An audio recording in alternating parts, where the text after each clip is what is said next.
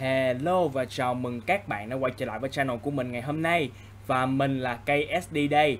Thì có bao giờ các bạn muốn là chơi sinh tồn á Không phải làm nhà khởi đầu Mà làm một ngôi lều khởi đầu các bạn ơi. À, Nhưng mà ngôi lều đó phải cực kỳ đẹp luôn Đẹp hơn cả nhà bình thường luôn Và đầy đủ tiện nghi.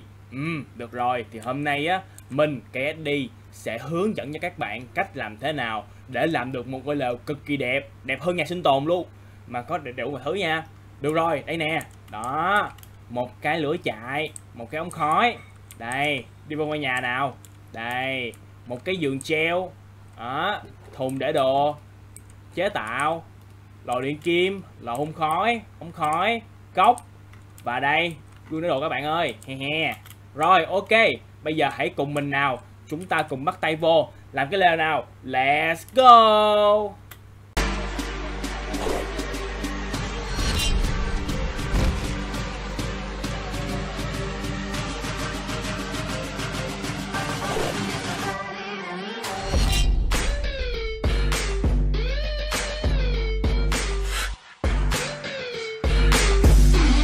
Ok các bạn ơi, thì bây giờ để bắt đầu làm được cái ngôi lều sinh tồn cơ bản này á thì chúng ta sẽ cần chuẩn bị rất là nhiều thứ. Đầu tiên á sẽ là đá anh để đánh bóng, thứ hai á là cầu thang gỗ phân sam, thứ ba là ván gỗ vân sam, thứ tư á là phiến gỗ sồi. Và cuối cùng á là cầu thang gỗ sồi. Thì cái lều này á chủ yếu á là làm rất là dễ. Và nó đẹp ở cái chỗ á là cái kiến trúc bên trong cái ngôi lều rất rất là đẹp luôn tuy làm dễ, nhưng mà nó không xấu đâu nha. Cực kỳ đẹp nha các bạn ơi. Được rồi. Thì bây giờ trước khi chúng ta muốn làm bất cứ cái gì, trước khi chúng ta muốn xây bất cứ cái gì á, thì mình luôn nói với các bạn rằng á, là hãy xây cái nền móng trước. Thì bây giờ chúng ta hãy dùng đá andesite để đánh bóng, để làm cái nền móng trước nha các bạn ơi. Nè, cục đá này nè. Đó. Và bây giờ các bạn hãy lấy cho mình theo theo cái ờ, chiều như thế này. Chiều ngang sẽ là 9 lóc và chiều dọc sẽ là 13 lóc. Nghĩa là sao? Đây nè. Một lóc hai lốc 3 lốc 4 lốc 5 lốc 6 lốc 7 lốc 8 lốc và 9 lốc như thế này cho mình nha bạn ơi.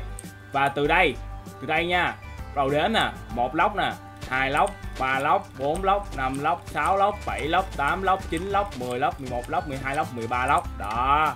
Đây, ngang 9 dọc 13 đó các bạn, được rồi. Bây giờ mình sẽ lắp lại hết như thế này.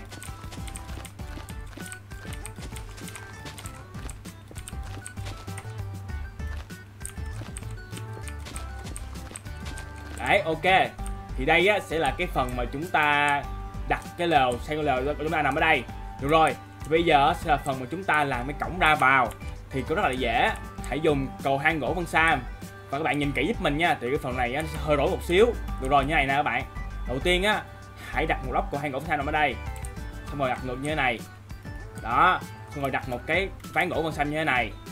Và cầu hang gỗ vân sam ngược lại còn hàng Owen Sam. Và ngược lại như thế này, thì tạm thời bây giờ mình chưa rõ được cái phần chính giữa nằm ở đâu á, thì mình sẽ đi qua bên phải của nó luôn và mình làm luôn cái bên đây. Còn hàng Owen Sam. Ngược lại. Hàng Owen Sam. Còn hàng Owen Sam. Ngược lại. Lên. Ngược lại. Ngược lại như thế này. Và lên. Thì sau khi các bạn đã bay build được hai cái đường như này nè các bạn sau đó thì mình cần bán ổ vân xa và như thế này. Đó. Vậy là chúng ta đã tạm thời xong được cái phần cửa ra vào của cái ờ, lều đó các bạn ơi. Thấy không? Rất là đơn giản luôn. Được rồi bây giờ hãy dùng cầu thang gỗ sồi lắp lại như thế này cho mình. Đó bạn nhớ nha. Ở đây á, là cầu thang gỗ vân sam mà bên đây á, là cầu thang gỗ sồi.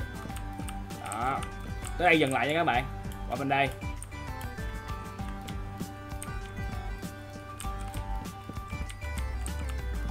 Rồi, ok. Bây giờ hãy dùng cho mình cái ván gỗ rồi để mà lắp lại như thế này. Đó. Đây, ok. Đó. Đây, rồi. Bên đây tiếp tục dùng còn hàng gỗ văn sam còn còn hàng gỗ sồi thôi. Như thế này.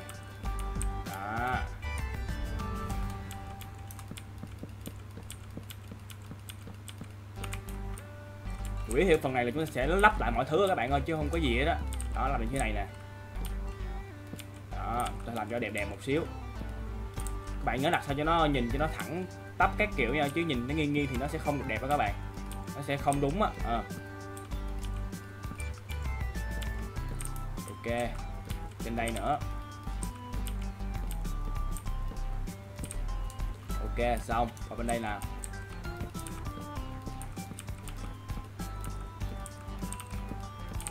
ok. Và bên đây. Ok. Còn chỗ này các bạn ơi, các bạn nhớ nha, chỗ này nè, đừng có xài cái phản gỗ xăm như này nha cũng đừng xài phản gỗ sồi. Mà chúng ta hãy xài phiến gỗ sồi. Như này nè các bạn ơi tên đặt nó như này nè. Này đẹp nhất. Đó. Đây, đặt ở phía trên này các bạn, nhớ nha, đặt ở phía trên nha. Đó thì nó sẽ ra như kiểu là một cái ngôi cái lều của mình nó kiểu có cầu thang đi lên bạn thấy không? Đó là đẹp luôn. Rồi ở phía đằng sau á thì chúng ta sẽ build y như lúc nãy y, y như cái lúc mà chúng ta hồi nãy làm cái uh, cái cổng phía vô các bạn ơi. Y như lúc nãy luôn các bạn ơi. Mà bây giờ chúng ta đã có cái uh, sẵn cái này rồi nè. Nên sẽ làm rất là dễ không có khó nữa. Đó. Đây đấy build y như cái lúc nãy nha các bạn ơi. Y bạn hồi nè hồi nãy mình chỉ các bạn á. Đó. Rồi như thế này và như thế này. Đó rồi, ok, xuống dưới đây. Như này.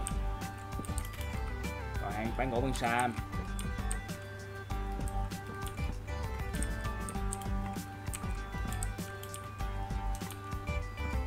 Rồi. Đó. Vậy là chúng ta đã xong được cái phần, cái lều đó các bạn ơi. Đó nó đẹp đúng không các bạn? Rất là easy luôn. Đó. Đây sẽ chính là cái lều chúng ta. Đây, rất là đẹp đúng không các bạn? Đó. Uhm. rồi, ok bây giờ hãy chuyển sang phần tiếp theo của ngôi lều nào? Let's go! Ok các bạn ơi, thì bây giờ sẽ là phần của chúng ta trang trí bên ngoài của ngôi lều.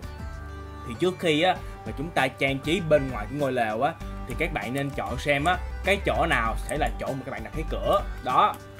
Thì ngôi lều này á, sẽ có hai vị trí. Vị trí một ở đây á, sẽ là cái vị trí mà chúng ta để cái tường. Và ở đây á, sẽ để cái cửa. Cho nên bạn nhớ nha, hãy chọn vị trí chỗ nào là chỗ đặt cái cửa trước mình á thì mình sẽ chọn vị trí này. Thì vì hướng ánh sáng và ở đây, ở đây cũng khá là rộng mình có thể trang trí thêm. Được rồi thì bây giờ các bạn có thấy cái chỗ mà đá andesite được đánh bóng này không? Chúng ta sẽ thay bằng thân cây vân sam. Như thế này các bạn. Đó đặt sao cho nó mà nằm ngang này nha. Đừng để nằm dọc dọc xấu lắm. Đó ok. Rồi sau đó hãy đi vô đi vô trong và dùng tấm thủy tinh này. Đó để mà như thế này nha các bạn. Đó. Chúng ta xem cái cửa đây các bạn ơi đó. Rồi. Ok, cái cửa nằm ở đây các bạn. Nằm ở đây nè. Đó. Rồi. Lắp lại như thế này. Đây. Đó. Ok. Đó. Và thế là chúng ta đã xong được phần cái cửa, bạn thấy không? Rồi, tiếp tục dùng cửa sập gỗ sồi sẫm để mà lắp ở đây.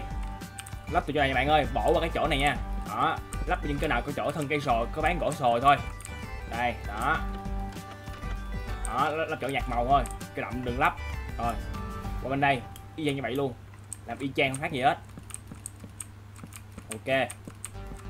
Rồi. Ui, cái này mình đặt sai. Rồi, ok. Rồi đó.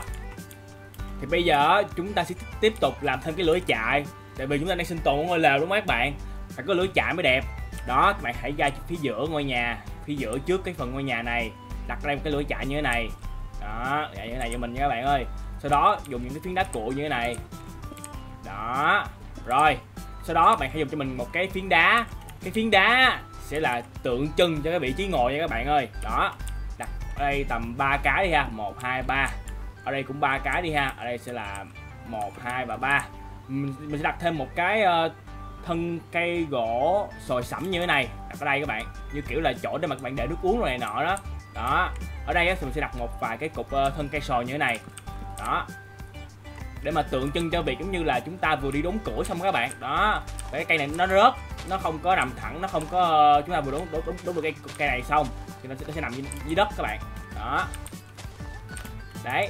Rồi. Thấy không? Rất là đẹp đúng không các bạn? Đó. Rồi. Sau đó lấy cây sẻn để làm gì? Làm lối đi nha các bạn ơi. Làm lối đi. Chúng ta sẽ một hai ba như thế này rồi cho nó đi đường tới cái chỗ uh, lửa chạy. Bạn cứ làm đại đi cho nó rối rối xíu cũng được cũng là cũng đẹp. Nó càng uh, rắc rối một xíu thì nó càng đẹp hơn các bạn. Đó như thế này. Đấy. Đó. Và chúng ta xong được cái phần trước ngôi lều đó bạn ơi. Đó đẹp đúng không? Được rồi. Bây giờ phần tiếp theo nè các bạn ơi. Let's go. Ok các bạn ơi thì bây giờ sẽ là phần chúng ta bắt đầu trang trí những thứ bên trong cái ngôi lều này. Thì cái việc trang trí á nó tùy thuộc vào mỗi người. Nhưng mà mình sẽ làm cách của mình để cho đẹp nhất có thể, bạn ơi. Và theo mình á, đây là cách đẹp nhất nha các bạn ơi. Được rồi, thì bây giờ trước tiên á, chúng ta sẽ phải đi lắp toàn bộ lại cái khu này nè, thành ván gỗ văn sam hết đã các bạn ơi. Cái này nè các bạn ơi. Thì lúc nãy trước khi mình làm á, mình quên mất tiêu. Cho nên á, thì các bạn khi mà trước khi làm ngôi làm làm cái cửa này nè, thì chúng ta nên lắp sẵn đi các bạn ơi. Đó. Thẳng như này, để cho nó đỡ phải mất công bị phá cửa này mà làm cái cửa lại khác đó. Đó. Hãy lắp sẵn đi nha các bạn. Sau đó lắp lại như này cho mình. Rồi, bây giờ chúng ta sẽ là lắp toàn bộ cái sàn nhà bằng bán gỗ băng sam.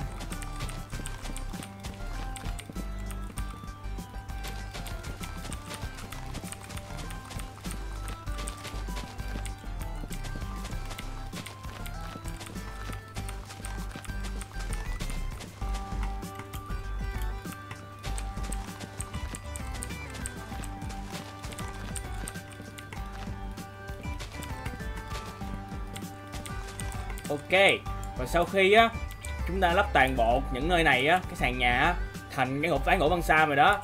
Bây giờ chúng ta sẽ lắp cái này lại để che lại cái chỗ bức tường này đi. Đây sẽ là phần bức tường chúng ta. Cũng dùng ván gỗ băng sa luôn nha các bạn.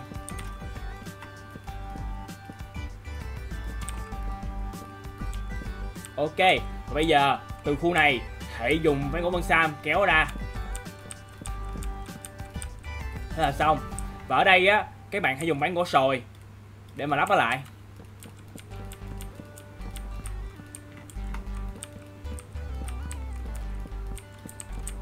Đó, và thế là tạm thời chúng ta là xong ngôi lều đó các bạn ơi. Rồi, bây giờ là phần trang trí. Các bạn chỉ cần trang trí ba khúc này thôi bạn ơi. Nè, trải thảm, ba cái này thôi. Như thế này cho mình.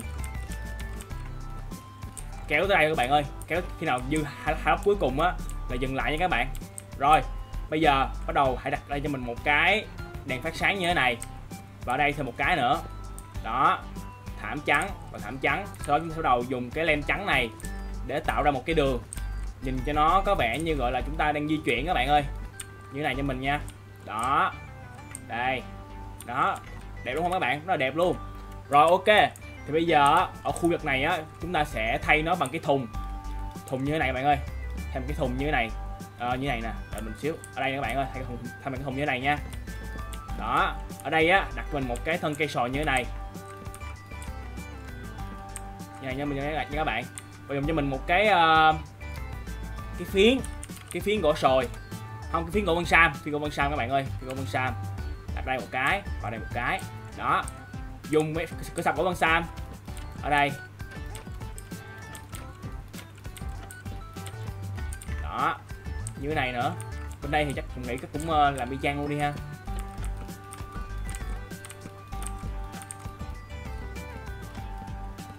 Ok đã xong rồi đó. Đây. Và bây giờ chúng ta sẽ dùng cái hàng rào. À, hỏi chúng ta dùng cửa sập các bạn ơi cửa sập chứ không cái cửa sập cái cổng á dùng cái cổng á. Dùng cái cổng. Làm cái gì? Chúng ta sẽ làm một cái như thế này các bạn. À, như thế này cho mình nha. Để mình coi thử xem như thế nào rồi ok như thế này và như thế này.